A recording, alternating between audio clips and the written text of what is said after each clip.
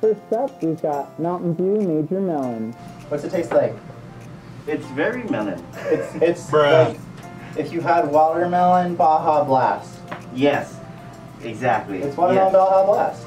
Yeah, sure. that's pretty much what it is.